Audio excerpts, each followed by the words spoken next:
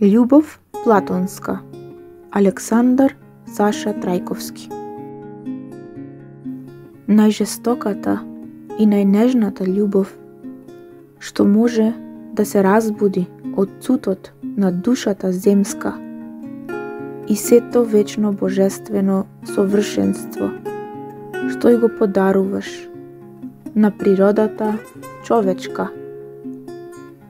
И воедно да се овоплотуваш во неа, го можеш само ти.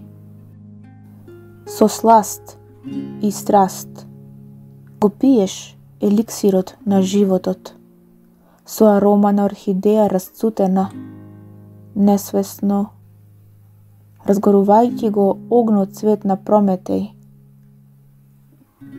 Од голготи кошмарни, твориш патокази влажни, и еротски. Обземен со занес до солзи и со порив за воспев со восхит, преплавен во твојот портрет уметнички, обременет од темпера и спомен жив.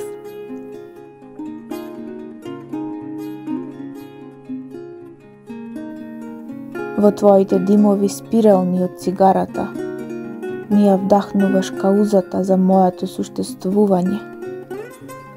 Шармот на тој израз примамлив на лицето, во обличие на насмевка мистична, несвесно ме помирува на љубов платонска, со поглед без допир, кон твојата божественост рајска.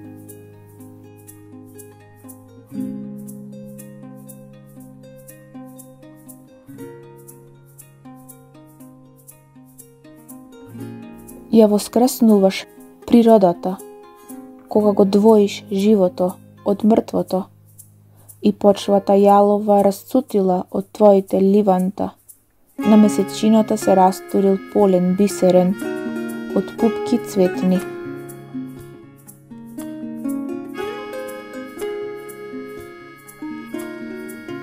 Вечна е мојата љубов, па макар и платонска, која цели секогаш амбициозно, макар и во сон. Како прва детска љубов без бакнеш, на клупа дрвена во пролет рана, во твоите очи бисерни, како некои глуварки мистериозни, лептат души во полиња цветни. Минувајки низ животот разнобоен, го пресликуваш изгревот на љубовта со боите на божилакот, вдомен во утробата на рожбата. Само ти го можеш тоа.